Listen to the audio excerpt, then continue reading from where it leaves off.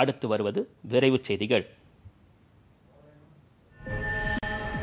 முதலமைச்சர் வேட்பாளர் தேர்வு செய்யப்பட்டதன் மூலம் அதிமுக இப்போது கட்டுக்கோப்பான இயக்கமாக செயல்பட்டு வருவதாக உணவுத்துறை அமைச்சர் காமராஜ் தெரிவித்தார்.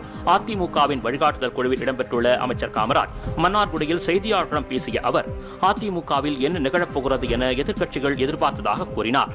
ஆனால் கட்சியின் மூத்த நிர்வாகிகள் ஒன்று கூடி பேசி முதலமைச்சர் வேட்பாளரை தேர்வு செய்ததும் வழிகாட்டுதல் குழுவை அமைத்தது கட்சி கட்டுக்கோப்பாக இருக்கிறது என்று தெரியவந்துள்ளதாக கூறினார். தொடர்ந்து மக்கள் நலனுக்கான ஆட்சியை தங்களது அரசு வழங்கி வருவதாகவும் அமைச்சர் காமராஜ் குறிப்பிட்டார்.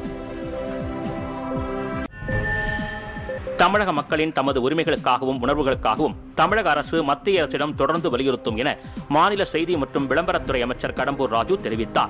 தூத்துக்குடி மாவட்டம் கோவில்பட்டி அருகே நடமாடும் நியாய விலைக் கடைகளை தொடங்கி வைத்து பேசிய அவர் முன்னாள் முதல்வர் தொடங்கி வைத்த நடமாடும் நியாய விலைக் கடை உள்ளிட்ட அனைத்து திட்டங்களை இப்போதைய முதலமைச்சர் செயல்படுத்தி வருவதாக கூறினார். பல்வேறு சூழ்நிலை காரணமாக ரேஷன் பொருட்கள் வாங்க முடியாதவர்கள் தங்களது பகுதிகளுக்கு அருகில் உள்ள நியாய விலைக் கடைகளில் ரேஷன் பொருட்களை பெற்றுக் கொள்ளலாம் என அமைச்சர் கடம்பூர் ராஜு தெரிவித்தார். அரசு கலை மற்றும் அறிவியல் கல்லூரிகளில் நடப்பாண்டுக்கான முதுநிலை பட்டப்படிப்பு சேர்க்கைக்கான விண்ணப்பங்களை இணையதளம் வழியாக பதிவு செய்யலாம் என மாநில உயர்கல்வித்துறை அமைச்சர் கே பி அன்பழகன் தெரிவித்துள்ளார். இதுகுறித்து அவர் வெளியிட்டுள்ள அறிக்கையில் வரும் பத்தாம் தேதி முதல் இருபதாம் தேதி வரை W W W dot TNGASAPG dot in மற்றும் W W W dot TNGASAPG dot R ஆகிய இணையதளங்களில் பதிவு செய்ய வேண்டும் என்று அவர் வலியுறுத்தினார். பதிவு கட்டணம் இரண்டு ரூபாய் விண்ணப்ப கட்டணம் ஐம்பத்தி எட்டு ரூபாய் சேர்த்து அறுபது ரூபாய் செலுத்த வேண்டும் என்றும் அவர் கூறினார். தாழ்த்தப்பட்டோர் மற்றும் பழங்குடியின மாணவர்கள் பதிவு கட்டணமாக இரண்டு ரூபாய் மட்டும் செலுத்தினால் போதும் என அமைச்சர் கே பி அன்பழகன் குறிப்பிட்டார். தொழில்துறை வழிகாட்டுதல் மற்றும் ஏற்றுமதி மேம்பாட்டு ஆணையத்தின் நிர்வாக துணைத் தலைவரும் தருமபுரி மாவட்ட வளர்ச்சி மற்றும் கொரோனா தடுப்பு கண்காணிப்பு அலுவலமான நீரஜ் மிட்டல் தருமபுரி மாவட்டம் ஒகேனக்கல் பகுதியில் ஆய்வு மேற்கொண்டார்.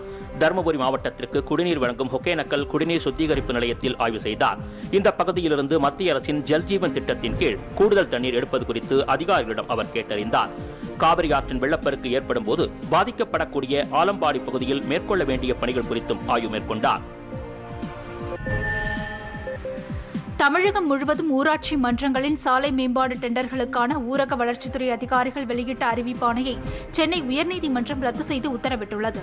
ஊராட்சி மன்ற ஒப்புதல் இல்லாமலும் கிராம சபையின் ஒப்புதல் இல்லாமலும் ஊரக வளர்ச்சித்துறை அதிகாரிகள் மூலமாக தன்னிச்சையாக திட்டங்கள் தேர்ந்தெடுக்கப்படுவதை எதிர்த்து உயர்நீதிமன்றத்தில் வழக்கு தொடரப்பட்டது.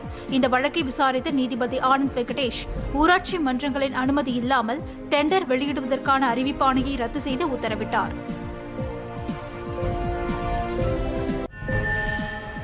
சென்னை மாவட்டத்தில் சமூக பொருளாதாரத்தில் பின்தங்கியுள்ள கைவினை கலைஞர்களின் பொருளாதாரத்தை மேம்படுத்தும் வகையில் தமிழ்நாடு சிறுபான்மையினர் பொருளாதார மேம்பாட்டுக் கழகத்தின் மூலம் குறைந்த வட்டி விகிதத்தில் கடன் வழங்கப்படுவதாக அம்மாவட்ட ஆட்சியர் சீதாலட்சுமி கூறியுள்ளார். இத்திட்டத்தின் மூலம் பயன்பெற விரும்புவோர் ஆட்சியர் அலுவலகத்தில் உள்ள மாவட்ட பிற்படுத்தப்பட்டோர் மற்றும் சிறுபான்மையினர் நல அலுவலகம் மூலமாகவும் சென்னை மாவட்ட மத்திய கூட்டுறவு வங்கி மற்றும் நகர கூட்டுறவு வங்கிகள் மூலமாகவும் விண்ணப்பித்து பயன்பெறலாம் எனவும் மாவட்ட ஆட்சியர் தெரிவித்துள்ளார்.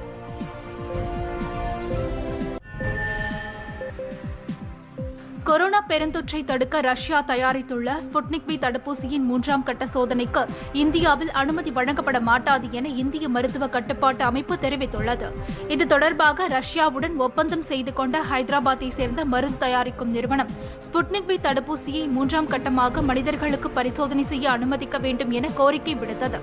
ஆனால் இந்த தடுப்பூசி தொடர்பாக மிக பெரும் அளவில் ஆய்வு செய்ய வேண்டியிருப்பதால் அனுமதி மறுக்கப்படுவதாக இந்திய மருத்துவ கட்டுப்பாட்டு அமைப்பு கூறியுள்ளது.